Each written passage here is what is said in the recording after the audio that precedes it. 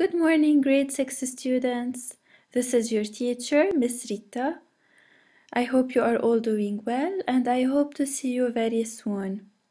Today we will do a quick revision about everything that we already explained till now.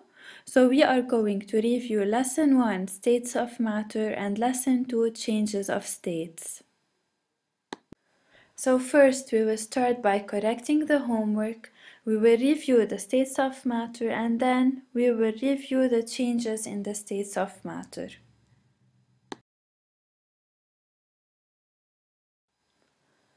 Let's start by correcting the homework. Please make sure to copy the correction on your copybook. We have aluminum melts at 660 degrees Celsius. Specify if you can find another substance that melts at this temperature. The answer is no, because every substance has its own melting and freezing point. So we can't find two substances with the same melting points. Part B, specify the freezing point of aluminum. We said that the melting point is equal to the freezing point, which means that the freezing point is equal to 660 degrees Celsius. Part C, Specify the state of aluminum when the surrounding temperature is 300 degrees Celsius. So as I previously mentioned, we have to compare this temperature to the figure. 300 is below 660, which means it's a solid. And we do the same for the rest, so we get 590 degrees Celsius, it's a solid, 668, it's a liquid, and 700 degrees Celsius is also a liquid. What are the three states of matter? They are solid, liquid, and gas. Now let's move on to the characteristics of solids, liquids, and gases. As you can see in the picture in front of you, the particles in a solid are close to each other the particles in a liquid are not so close and the particles in a gas are far from each other. The shape and volume of a solid are both definite, which means that they do not change. The shape of a liquid is not definite, so it takes the shape of the container, and the volume of a liquid is definite.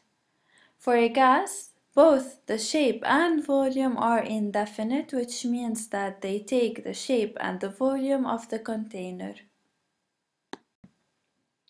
We already said that viscosity is a characteristic of liquids. It's the resistance of the particles to flowing. We said that if a liquid has high viscosity, it means the particles have high resistance and the liquid flows slowly like honey. If a liquid has low viscosity, it means the particles have low resistance and the liquid flows quickly, like water. We said that one characteristic of gases is pressure, and it's the force of the gas particles on the walls of the container. To calculate pressure, we have to divide the force of the gas by the area of the container. And the unit of pressure is the Pascal. We also said that if the number of gas particles inside a container increases, it means we will have a bigger force on the walls of the container and the pressure increases.